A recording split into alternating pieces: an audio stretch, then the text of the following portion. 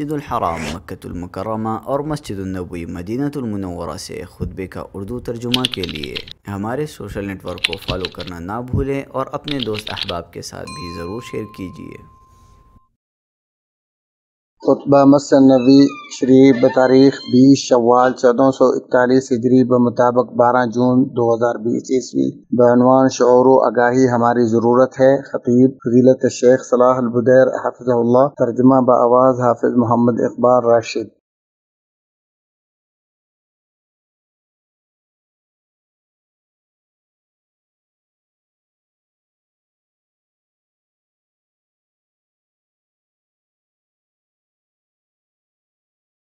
तमाम तारीफ़ें उस अल्लाह के लिए हैं जिसने हमें शूर की दौलत से माला माल फरमाया और दीन हनीफ से इज़्ज़त व अज़मत अता फरमाई और हमें मुकल्लफ होने की अमानत सौंपी और मैं गवाही देता हूँ कि अल्लाह वाहदहुल्ला शरीक के अलावा कोई सच्चा मबूद नहीं जिसकी हम असमावत से बग़ैर तशबी तातील और तकीफ़ के ईमान लाते हैं।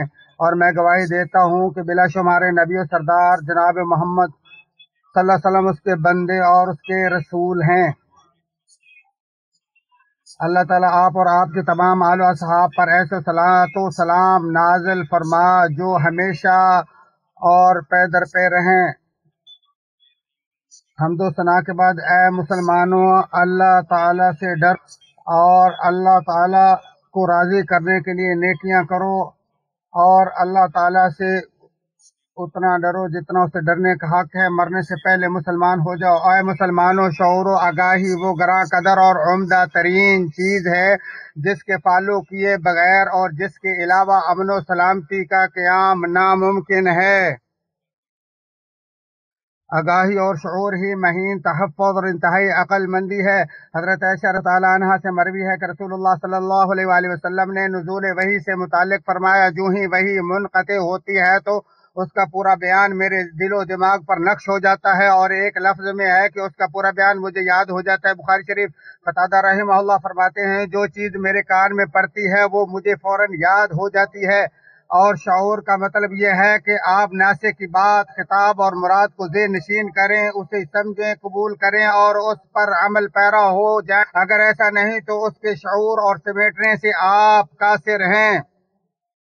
इरशाद बारी ताला है ताकि आप उसे तुम्हारे लिए नसीहत नसीहत यादगार बनाएँ और ताकि ये या, याद रखने वाले कान उसे याद रखें और याद रखने वाले और बाशौर कान का की शान ये है कि वो उस चीज़ को खूब दे नशीन रखे और जिसकी यादो नसीहत और इशात और जिस पर गौर फ़िक्र वाजिब ज़रूरी है और उसे और उस पर तमिल से उसे जया ना करो। और याद रखने वाले कान हमेशा वही होते हैं जो अल्लाह ताला से शरीयत को समझते हैं और किताबुल्लाह और सुन्नत रसूलुल्लाह से जो सुनते हैं उससे भरपूर इस्तेफादा करते हैं। और कहा गया कि आजान या जमा के बजाय उजुन या नकरा बोलना बोलना किल्लत वही की तरफ़ इशारा है। हज़रत जैद बिन साबित रज़ी अल्लाह से मरवी है। वो कहते हैं कि मैंने सल्लम से सुना आप, आप फरमाते अल्लाह ताला उस शख्स के उस शहर को तरोताज़ा रखे, जिसने मेरा फरमान सुना, हिफज किया और समझा, फिर उसे सुन, ना सुनने वालों तक पहुँचाया, क्योंकि बहुत से इल्म दीन रखने वाले फ़कीर नहीं होते, और बहुत से इल्म दीन रखने वाले अपने से ज़्यादा फ़कीर तक पहुंचाते हैं। इसे तरमीजी ने बयान किया राम हरमजी रहमल्ला फरमाते हैं, नबी अकरम सल्लल्लाहु अलैहि वसल्लम ने हदीस याद करने और उसे दूसरे तक पहुँचाने वाले के दरमियान फ़र्क बयान करते हुए दिलो दिमाग में बिठाने वाले के अपने इन अल्फाज में बयान फरमाई कि सो बहुत से हामिलीन फ़िका गैर फ़की और बहुत से हामिलीन फ़िका अपने से ज़्यादा फ़की तक पहुँचाने वाले हैं मुसलमानों। इंसान का बर्तन उसका दिलो दिमाग है जो उसके इलम एतकाद अफकार जज्बात और काबिल कदर रसूलों का मुहाफिज है तो तुम अपने बर्तन में सिर्फ़ वही चीज़ रखो जो तुम्हारे दीन अकल और किरदार के लायक और मुनासिब हो। खैर भलाई जम, जमाना दराज के बावजूद बाकी रहती है जब तुम्हारी याद शुदा पूंजी को भी खूब खराब कर देने वाला है। हमारे रब ने मुतकबर काफरों के बारे में फरमाया, अल्लाह खूब जानता है जो उनके दिलों में है, यानी जो रसूलुल्लाह सल्लल्लाहु अलैहि वसल्लम और मोमिनों की अदावत उनके दिलों में जमा और पुशीदा है।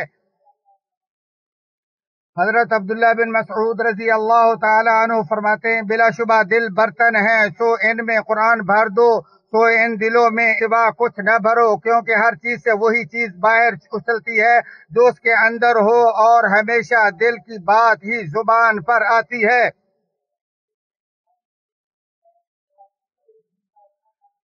दिल की बात ज़ुबान पर आकर ही रहती है और हर बर्तन में जो कुछ होता है वही बाहर उछलता है। जिसकी असलियत ही बेकार हो, उसके मुँह से अच्छाई सरजत नहीं होती। हर शख्स अपने किरदार होता है और बाहर वही छल छलकता है जो कूदे में के अंदर होता है।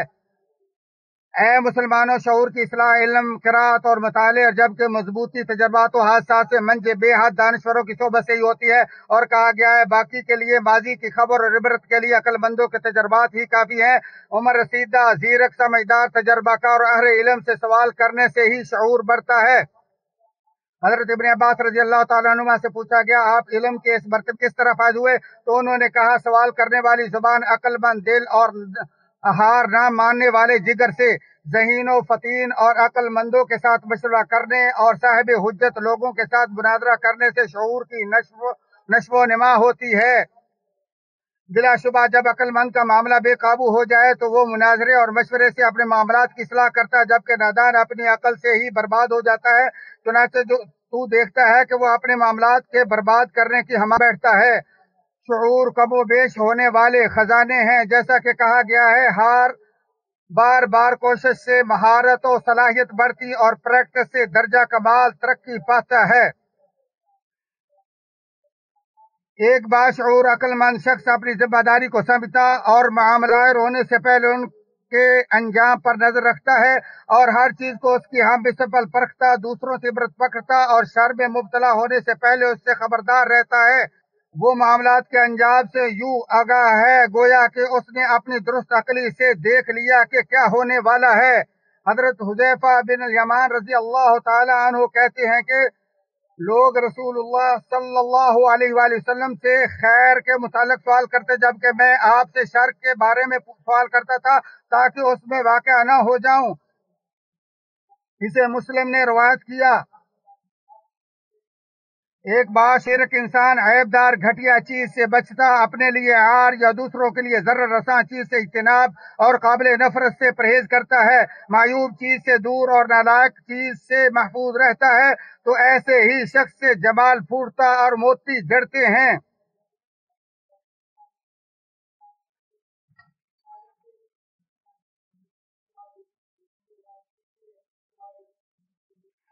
है मुसलमानों, कुता शूरी एक आफत, मुसीबत है जिसका दारो मदार कम जरफी, जल्दबाजी, लापरवाही और घटिया पनी पर होता है। और ये एक अलग मुसीबत है कि ये राय उसकी हो जो उसका मालिक है और उसकी ना हो जो उसे समझता हो। और उसका क्या बनेगा जो हकायक का मुनकर और झूठों पर यकीन रखने वाला हो? बरमला चीज़ों को ठुकराए, तमीज से महरूम। और फ़र्क करने से ना आशना हो और जिसके लिए रास्ते और निशाना जेरो जबर हो जाएँ और जोड़ तोड़ संजीदगियों, मिजाज, खूबसूरती और बदसूरती से ना वाकिफ हो। खतरात के अंदाजे से बेबहरा, अजम, जजम, एहतियात और बेदारी से तही दस्त। खाशात परस्त, आखिरत से कता नज़र। खाशात से नफ्स का पुजारी हो। ऐसा शख्स भला किसी की नसीहत को कैसे कबूल कर सकता है? या उसे अपने बोल की क्या परवाह है? गुमराही पर अड़ने वाले को मलामत करना और नादा से मुखातब होना भी एक मुसीबत है। जब तू जाहल को सिखाए और वो तुझसे बड़ा आलम होने का दावा करे तो ये एक, यही तो एक बीमारी है।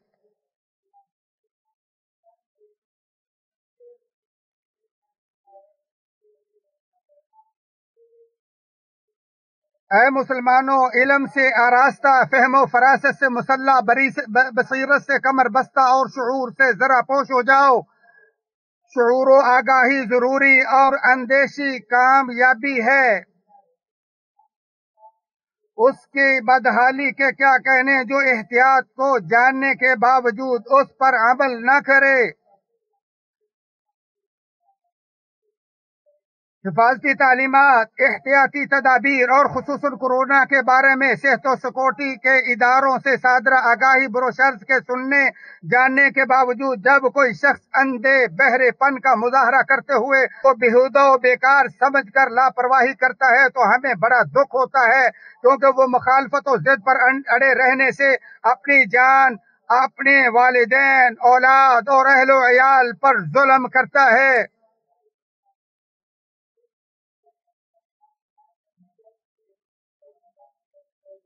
इन्फेक्शन और तकलीफ़ को अपने घर में दाखिल करता, उसके लिए दरवाजे खोलता और पर्दे दूर करता है।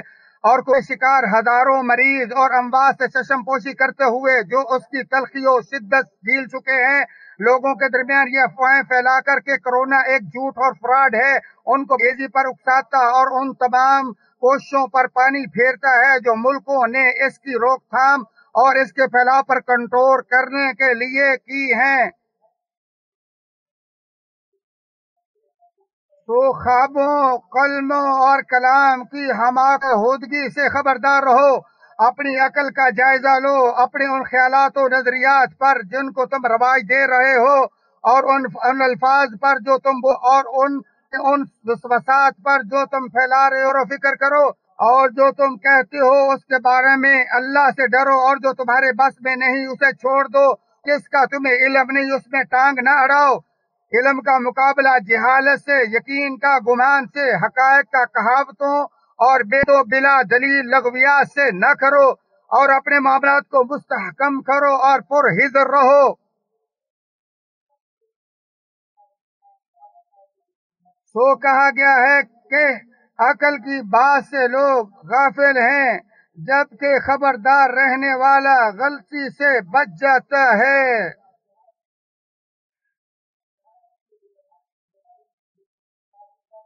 इसी से करते हुए अल्लाह से बख्शिश माँगता हूँ। तुम भी उसी से बख्शिश तलब करो। बिलाशुबा वही रुजू करने वालों को बख्शने वाला गफूर रहीम है।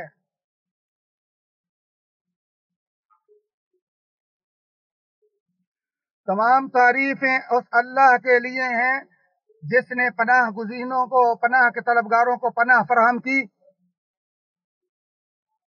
और मैं गवाही देता हूँ कि शरीक के अलावा कोई सच्चा महबूद इलाज को भी अपने फजलो करम से शफायाब कर देने वाला है। और मैं गवाही देता हूँ कि हमारे नबी सरदार मोहम्मद उसके बंदे रसूल है, जिसने उनकी इतबा की रुश्त इजाज पा गया, और जिसने उनकी नाफरमानी की, वो गुमराह बर्बाद हो गया। आप अल्लाह ताला आप और आपके अल्लाह साहब पर रहती दुनिया तक दुरुद्सलम नज़र फरमाए। ए मुसलमानों, अल्लाह से कमा हकू डरो और मरने से पहले मुसलमान बन जाओ। है मुसलमानों, कितने हादसा तो वाकत रूनुमा हुए, मगर इस कोरोना वबा हमारे फर्जंदों, नस्लों, मर्दों और औरतों को औरतों में शूर उजागर करने की ज़रूरत से हमें आगाह कर दिया और हमने कितने धोखाबाजों, अरे से फ्रॉडियों का मुशाह किया जो अपने खबीस मकासद और हकीर मुतालबात के हसूल के लिए इन वबाओं को नाजायज मुनाफाखोरी के लिए इस्तेमाल कर रहे हैं। चुनाचे वो खाली दावेदार जो इल्म तिब से बिल्कुल कोरा, साइंसी तकीक से तहकीक, साइंसी दकीक दकीक तहकीका से नाहल अलात टेस्ट के इस्तेमाल से बेबस आज वो भी कोरोना दरियाफत करने का दावा कर रहा है। फजूल और बेकार किस्म के झूठे और धोखाबाज डॉक्टर इस वायरस के इलाज के लिए देसी जड़ी बूटियों के नुस्खे पेश कर रहे हैं, जिससे आलमी तहकीक मराकज भी आज जो बेबस हैं। लालची, गंदे, बेकदरे और बेवकार घटिया लोग रेट में, हेरा फेरी के चक्कर में सामान मास्क जरासीम का अद्वियात और सैनिटाइजर के ब्लैक मार्केटिंग में मसरूफ हैं, जबकि जालसाज धोखेबाज और मक्कार लोग बीमार कुन जाली अद्वियात और सैनिटाइजर के बनाने में लगे हैं। नाम निहादो मगरूर मुल्ला कोरोना से मुतलक तबाहकारियों और मुश्किल में इतिहाद फतवे पर जसारत करते हैं। करते हुए लोगों को नमाज़, जक़ात और इबादत के तरीके बता रहे हैं, जबकि वो इतिहाद फतवे के अहल ही नहीं। तू अहमद को देखता है कि वो हर एजाज के हसूल में कजरो और हर बेवकूफ़ के सामने झुकता है तो इन तमाम दावेदारों पर यकीन सिर्फ़ वही करता है जो और अकलो शूर से फारिग हो।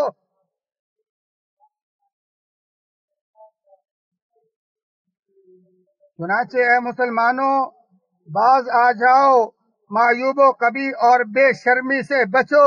वो कुरान और सुन्नत आपके सामने है, जो हिकमत अहकाम वाद नसीहत और उन आदाब में फैज बख्श है, जो तमाम उलूम के सरदार, दनाइयों के मंबा और मतलूब इज्जतों की राह है।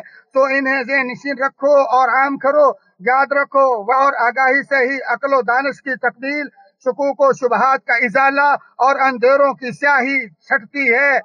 गफलतों से दिलों को जगाओ, गुनाह और खताओं से तोबा करो क्योंकि हर आजमाइश और मुसीबत गुनाह से आती और तोबा से टलती है। नजूल रहमत की दुआ करो, क्योंकि जिसने अल्लाह के सामने मोहताजी ज़ाहिर की, वो गनी और जो उसकी पनाह में आ गया, वो बाइज्जत और महफूज हो गया। और बिलाशुबा मैल के बाद सफ़ाई, बारिश निखार, गुरूर के बाद तुलु आफ्ताब, और पतझड़ के बाद ही बागात के नए पत्ते निकलते हैं। फिर हर तंगी के बाद कुशादगी, हर सख्ती के बाद निजात। लिहाजा अक्सर अक्सर लिहाजा कसरत से गड़गिड़ा कर दुआ करो और पुर उम्मीद रहो। है वो जहाज़ जिसकी पनाह में हर कोई आता और उमस्ता रखता है, तेरे दर पे सवाल ही आया है कि तू वबा को टाल दे। तूने मदद कर दी तो हर भला टल जाएगी। जब तूने सखावत कर दी तो हर भलाई नाजल हो जाएगी। जब तूने रहमत कर दी तो हर नुकसान खत्म हो जाएगा। और जब तूने शिफा दे दी तो हर बीमारी दूर हो जाएगी। जब ज़मीन का हाथ से बंजर हो जाए तो अल्लाह करीम के बादल हमारे लिए मूसलाधार सा देते हैं। और जब वबा ने हमारे घरों में डेरे डाल लिए हैं तो हमारे मेहरबान मौला की मदद बहुत करीब है। और जब उसने माफ़ कर दिया तो वो बड़ा वसीओ करीम है। और जब उसने फैसला कर दिया तो वो बड़ा हकीम आदिल है। हादियो तमाम कायनात के शाफ अहमद वसल्लम पर दुरूद भेजो। बस जिसने आप वसल्लम पर एक बार दुरूद भेजा, अल्लाह ताला उस पर उसके एवज दस रहमत नादल फरमाए। तमाम सामीन कराम की खिदमत में गुजारिश है कि फजीलत शेख की दुआ के साथ शरीक हों और आमीन कहें इस्लाम वलमुस्लिमीन वदिल शिरक वलमुशरिकीन